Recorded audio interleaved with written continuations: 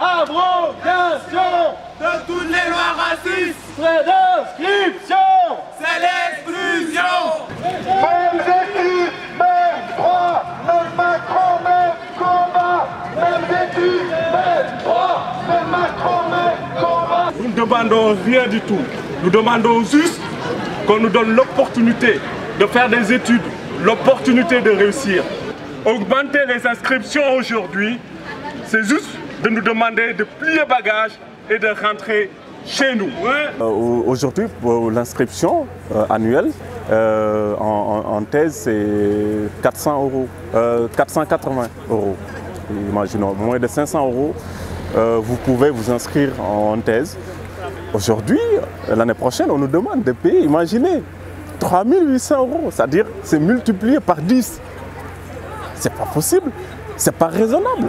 Si euh, c'était doublé, on peut comprendre, triplé, on peut comprendre, mais multiplié par 10, vraiment, nous, sincèrement, on ne sait pas d'où sort cette mesure, c'est pas possible, on ne comprend pas. On comprend pas même la visée, l'objectif de cette mesure-là, c'est quoi? Il faut qu'ils nous disent c'est quoi la portée. On va à l'école, on parle français.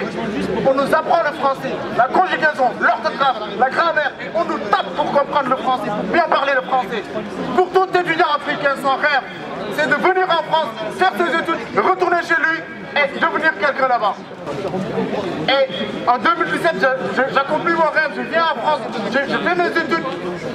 Et en 2018, le Premier ministre dit il va faire une loi là qu'on appelle Bienvenue en France. Vous savez ce que c'est Bienvenue en France? Ah ben moi j'étais content.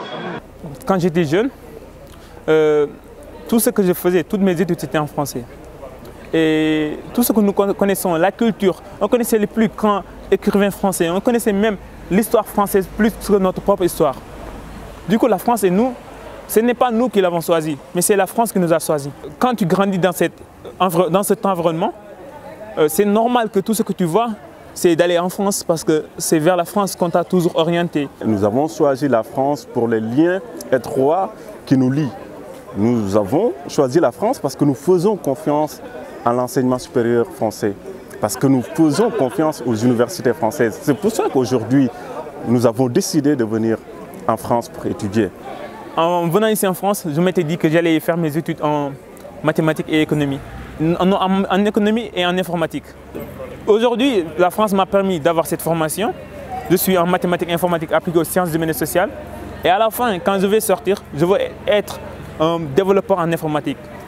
Et mieux, je veux rentrer au Sénégal, en Afrique noire, créer ma propre boîte en informatique. Donc tous ceux qui viennent là en France ne viennent pas pour après avoir un boulot en France. Ils viennent après pour aller développer leur pays, pour que ces pays-là prennent leur indépendance économique de la France. C'est aussi aider la France parce que si l'Afrique cède, il n'y aura plus euh, des flux migratoires qui arrivent ici. Donc si des jeunes engagés comme moi par exemple viennent ici en France, étudier, retourner en Afrique, investir, créer des entreprises pour que d'autres étudiants, d'autres jeunes, y travaillent. Pour moi, ça, c'est soulever un poids qui était sur la France.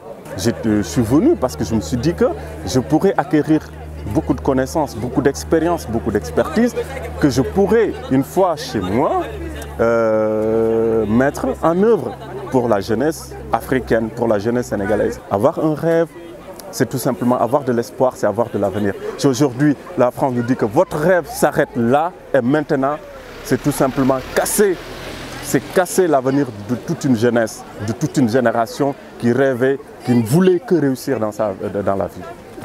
Pour comprendre ce que nous nous ressentons, il faut essayer de faire un peu de mathématiques, multiplier ces 3700 euros par la devise locale du CFA. C'est des millions de CFA. Quelle famille pourra dépenser autant d'argent pour faire venir son enfant ici Sans compter les frais d'inscription, le logement, la nourriture, c'est très difficile pour nous. Aucun étudiant africain ne pourra payer cela. Même si vos parents travaillent, même si vos parents gagnent beaucoup d'argent, énormément d'argent, ils ne pourront jamais, ils ne pourront jamais vous envoyer autant d'argent rien que pour une inscription. C'est pas possible.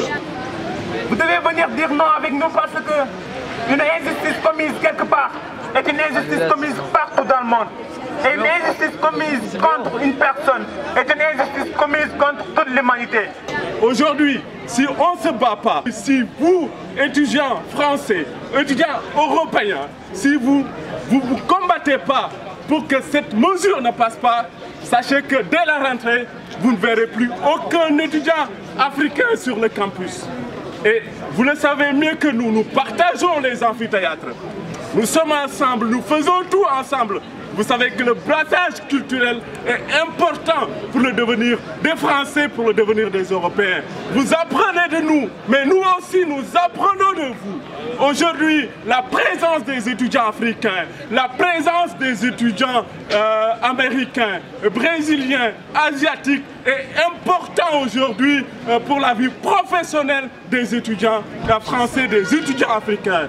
Aujourd'hui, c'est notre combat, mais c'est également votre combat. Aujourd'hui, quand ils nous font ça, ils, fixent les frais d'inscription à ça, c'est juste nous dire ne venez plus en France. C'est juste dire à mon petit frère, à ma, ma petite soeur qui est au Sénégal, que non, tu ne pourras plus rêver grand, tu ne pourras plus rêver d'aller en France. Et aujourd'hui, on est là, non seulement pour nous, mais pour ces jeunes-là qui ont besoin d'espoir. Parce que là-bas, il n'y en a pas.